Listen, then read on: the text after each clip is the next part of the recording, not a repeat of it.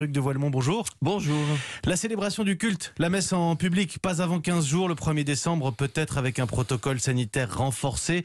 Vous avez déjà dit euh, une forme de déception, mais après, après tout, les commerces sont fermés, les théâtres sont fermés, les salariés doivent télétravailler. Entre autres mouvements, le collectif Rendez-nous la messe appelle à poursuivre les rassemblements dimanche prochain. Est-ce que vous soutenez cet appel? Alors le Premier ministre nous a bien indiqué les raisons pour lesquelles il nous demande encore de patienter. Ce sont des raisons sanitaires et l'Église comprend et participe évidemment de ce combat, de cet effort national que chacun de nous doit faire individuellement et collectivement pour que la pandémie euh, régresse et cesse.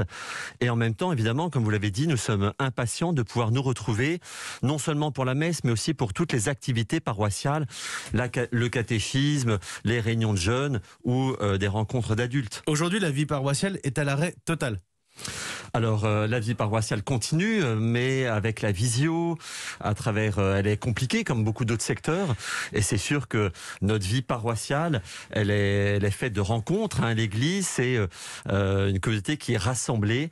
la rencontre ne se fait pas à distance, elle peut se faire, mais elle est incomplète, et donc c'est vraiment dans la rencontre réelle que nous pouvons nous retrouver.